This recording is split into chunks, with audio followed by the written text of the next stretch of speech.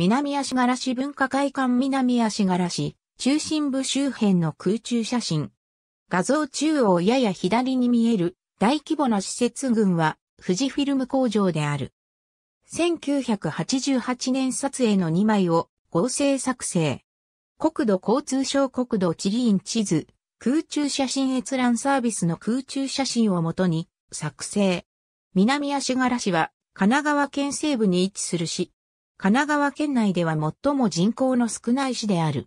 箱根山の外輪山の北東側にあり、佐古川の支流の一つ狩川を中心に市街地が広がっている。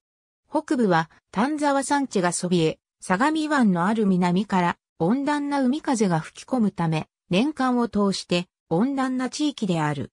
水に恵まれ、国土交通省の制定した水の里百選にも選ばれており、富士フィルムやアサヒビールなど大手企業の事業所、工場が立地している。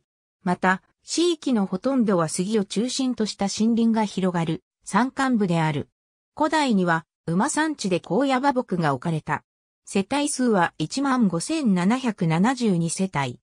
選挙区制比例代表アサヒビール、神奈川工場、神奈川県立足柄高等学校市内に警察署はなく、松田警察署の管轄区域となっている。